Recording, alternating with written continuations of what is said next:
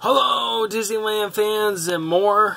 Star Wars Big back with some amazing stuff. Don't forget to subscribe if you like seeing tons of Star Wars and Disneyland stuff. We got it right here for you.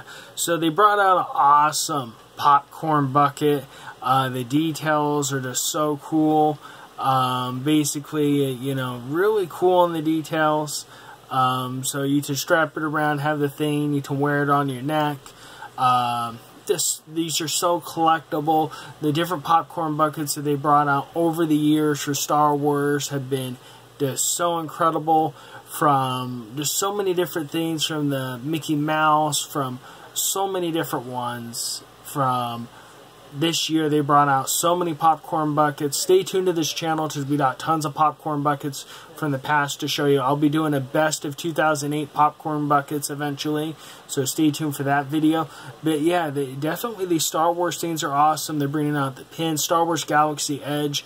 Just they keep bringing out new merchandise, and I wanted to get a chance to just show you this awesome popcorn bucket.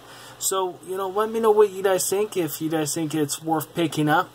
Uh, I got a lot of awesome pins on here as well to show you guys. So definitely stay tuned. I'll have more Disneyland stuff coming up almost every single day. So thank you for watching and don't forget to do this video a thumbs up.